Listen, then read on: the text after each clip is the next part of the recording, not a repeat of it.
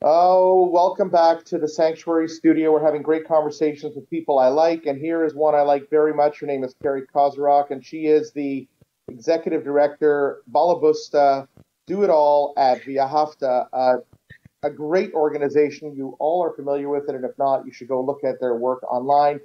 Cari, why are you working 16 hours a day? What is going on?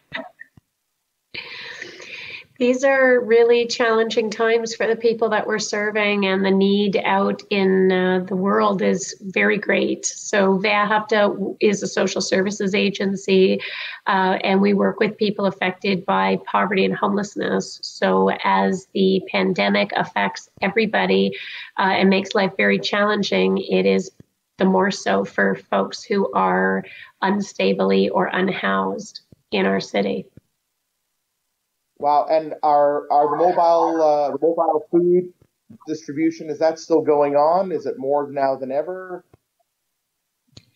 Yeah, so what we've been seeing out in the streets, so we have a mobile outreach van, uh, and it's primarily serving people who are currently experiencing homelessness, and it is a specific uh, subset of the homeless population known as rough sleepers, uh, and these are folks who are living outdoors. Uh, since the pandemic began, uh, there's been a marked increase in the number of people who are living outdoors. Uh, many of them left the shelter system out of fear for their safety, um, and many of them uh, are, you know, braving the the, the the pandemic uh, outside on the streets of the city. Um, as you know, it's been a particularly cold last couple of months, jarringly cold. And for folks who are outside, it's presented tremendous challenges um, that combined with the closure of so many of the formal and the informal amenities that enable people who are rough sleepers to survive in these harsh conditions, uh, we're finding that people are going without food, without access to bathrooms and places to wash their hands, places to get warm, things that enabled them to survive in the past are lacking, and there are many more people on the streets today. So it's a perfect storm, and there's tremendous need. And are you finding that because of uh, COVID 19, you can't get the same volunteers that you might have had under uh, normal circumstances? Is that affecting you? So it, we actually have no volunteers. We had to make the decision uh, at the beginning of March to discontinue in-person volunteer roles um, out of a concern for uh, the safety of our participants. So our mobile outreach van typically goes out uh, for a van shift in the evenings, uh, and it is the the model is that we have two outreach workers with four volunteers from the community. Uh, at the beginning of the pandemic, uh, we know that the pandemic pandemic was primarily being spread by people who had traveled. Uh, and given the mobility of our volunteer population, we were concerned that uh, their travel could bring COVID 19 into the homeless population who typically don't have the means to travel. So, what services are you working on uh, most at this time to uh, stem the, the need? So our mobile outreach van has operated throughout the pandemic with no break, uh, and I'm you know I'm pleased to say that we were able to do that. We've had to pivot. Um, the remainder of our programs uh, are all programs that are, are that are geared towards preparing people uh, who have experienced poverty and homelessness uh, to enter into the workforce. So there are work readiness programs. Uh, we have been able to shift and pivot most of our programs into a digital format, uh, and we've been able to uh, continue to run them. And uh, I'm pleased to say that we've been able to graduate quite a number of people through our programs and get them ready for next steps. There aren't so many next steps for them available right now which is a challenge of its own. Uh, but um, so most of our programs have remained operational.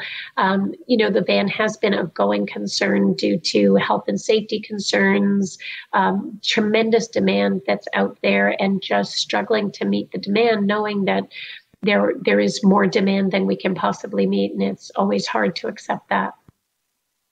What uh, what can people do be out there on the front lines, probably can't make food. What what can we do? So we actually are, you know, as as we move towards reopening, uh, one of the things that we're looking at is uh, ways to engage members of the public in uh, volunteer activities. And, you know, we've had such an outpouring of support from the, you know, we call it the Ve'ahavta community, and it's uh, mostly the Jewish community. And it's very touching to see the extent to which people genuinely care about these issues and care about the people who have been impacted in such a drastic way. So we have uh, some virtual volunteer opportunities where we are asking people to cook and bake and bring in uh, food that we are then serving out on our outreach van uh, at night. Uh, we opened up a meal train uh, registration process so we could sort of manage the the amounts that were coming in. And within an hour we were booked out to june uh, every every night covered. Uh, so now we're expanding that and, and asking people to be uh, making sandwiches that will be served out on the van and dropping them off as well. And they can find all this information on our website uh, we are currently looking for uh, tech volunteers to help provide uh, technical support to our program participants who will be starting in a new uh, our new cohort of work and life skills training programs in, at the end of June, um, and finding you know a lot of people who uh, have been marginalized do not have tremendous uh, technical skills. So we're looking for some virtual volunteers to offer basically tech support in how to log in and how to use you know basic processes uh, with the computer to access the materials that we're teaching. Um, and we'll continue to find new newer and newer ways for uh, engaging the volunteers in the community as we go along and move closer to physical reopening. So i agree with you. I've seen uh, an uptick in people saying i'm you know we're struggling but we're okay. We want to do something for others. Uh, I hope you don't mind. I want to cut to the head of the line a little light. Uh, Beth Torah has some sandwiches that we'd like to uh, contribute. I'll, I'll obviously um, go through the whatever procedures we have to follow, but I want to tell you that we have uh, some leftovers. We're going to make sandwiches, a whole lot of them, and we are going to provide it to Ve'ahavta. So I'm thrilled to be able to do that. I know the members support that as well. And I know that people might not have thought what happens to shul leftovers while they're not here. But the reality is, we plan on turning them into something that will uh, will go to your life saving efforts. So, Cari, I want to thank you as always for your work and uh, specifically for your work at this time. I know when I tried to, to reach out, you were trying to connect people to nonstop to, to do good things with uh, and for Ve'ahavta. I hope people respond to you. But to you yourself, I know that you make it look easy and uh, you're working incredibly hard. Is that James Dean, The Boulevard of Broken Dreams behind you? Is that what I see on the wall? no, it's it? not. It's uh, it's a. I think it's it's a generic painting. I I can't even remember where I got it. okay. A Renaissance well, street view. Sorry. It's good. Well, listen. I'll, all I can say is I've always thought of the work you do as being the boulevard of a hopeful future. So, you know, uh, really, I, I think that uh, you're taking you're taking lives into your own hand and you're doing great with it. So hopefully you get the support you need. And I just want to say thank you and look forward to delivering the, the food for uh, to Via Hafta safely. Thank you so much, so, Yossi. I mean, one thing, I, if I can, Yossi, if I can add one thing that people can be doing, we have a constant, constant need for clothing uh, at Ve'ahavta that we do uh, distribute from our outreach van.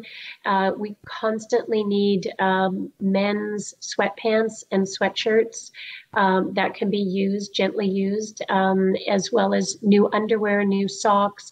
So if people have things like that, we have a donation bin in our parking lot at 200 Bridgeland. We very much appreciate people dropping those things off. We don't have use for children's things or baby things, but uh, particularly men's clothing, uh, not suits and fancy things, but stuff that people can really use.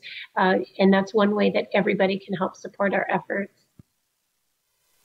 I've got two bags of, uh, of grown-up men size stuff. I'm going to be dropping off for you. And, uh, just just so you know, the, the candy striped pants are really comfortable, but they're probably too big for you, so don't. Yeah. Okay, uh, my dear friend Cari, Shabbat Shalom, and uh, stay well. Thank you.